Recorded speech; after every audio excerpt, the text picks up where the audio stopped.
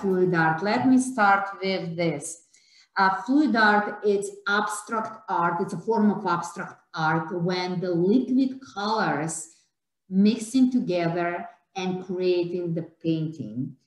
So this is this technique which we call open cup. It's really cool when you just starting to learn and you can see all those cells. You see those pop-ups starting just showing as the stars, like from the black, everyone like see like, wow, so cool. Or um, this technique, which is a dipping when you just put the, the painting in a paint and get it out. Look how cool it looks, right? How it's flowing from the stick. Let me show what I mean. So I'm taking a little bit paint, something like this, it's enough. You see, just like this, just a little bit. And then I'm adding Floetrol. Don't forget to shake. That's a good time to do the exercise and shake because the, otherwise it's, you know, it's a chemicals. So they must just go kind of looks bad, but they still are good. I'm usually using the ratio like one to five, something like this. Again, if I will put too little of the paint, I will add paint. If I need more um, Floetrol, I will add more Floetrol. Now, this is the most boring part of the fluid art. You need to mix it. And it might take a while.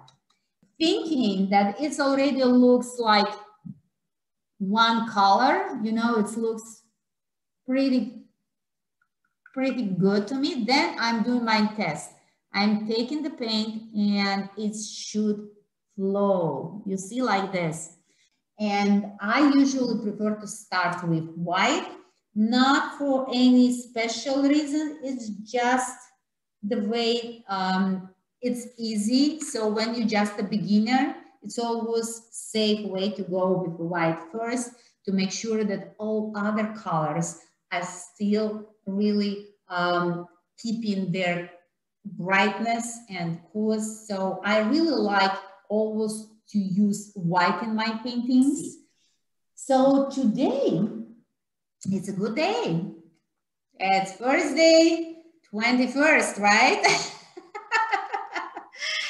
so let me use the oranges. I like my orange. Look at the colors. It's so pretty, so yummy.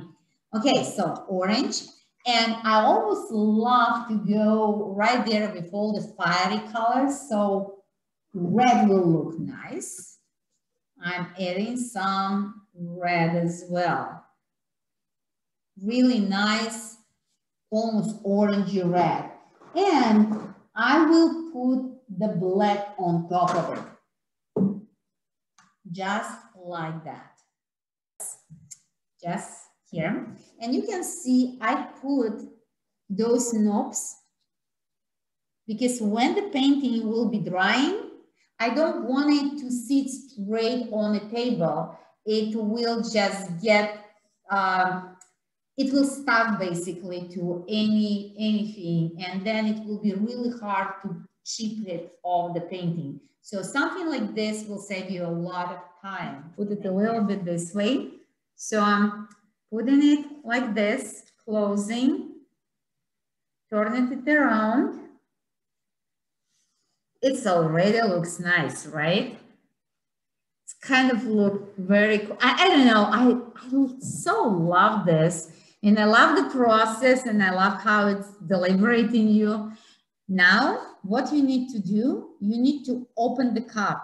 And a lot of people just pushing it up and I see a lot of professionals doing it as well but it's not really right. Um, if you will do that, the painting will not look that nice as it could be. Look at that side. It already looks like a small painting on a cup, right? Very cute. Okay, one, two, three. Look at the colors. Aren't they gorgeous? And now I'm starting to spread it. Mood, so look what I got. This is one of my favorite tools. It's like, you know, like my gun, you know? And look what it does. I can get all kind of cells out of my painting just by using torch. Okay, thank you so much. Thank you again. If you will be interested or if you want to add this knowledge to your technique, let me know. I teach online classes. Um, I will not teach in person, uh, at least for some time, because we move into different state. But um, my online is still available. So I would love to see you guys and uh, hopefully we'll have fun together. And again, thank you so much for inviting me to this really, really talented group. Thank you guys.